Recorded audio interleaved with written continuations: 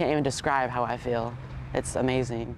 Isaac Einhall is ecstatic that he was chosen to sing part of a song with his favorite singer tonight. I entered into the contest and it's been about 10 days and yesterday, about 24 hours ago, I got a call from Carrie's support team and they said they loved the video that I submitted and that they want they chose me to be performing with her. The singers for the courage I possess through the drama. And here is the video he submitted.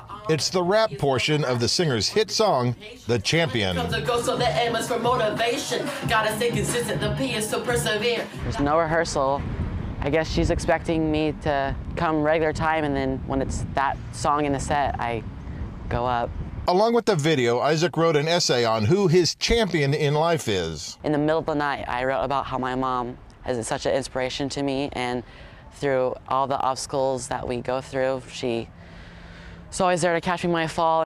Isaac's friends are thrilled for him. Isaac's a great kid all around. He's super energetic all the time, and he loves Carrie Underwood, so this is awesome for him. Right now, put some dance in the beach on Trev and front. Isaac was even singing Underwood songs at the age of six. Sing quite close to night karaoke. Oakdale calls itself the Cowboy Capital, and tonight one of its own will perform with a country singing legend. Carrie!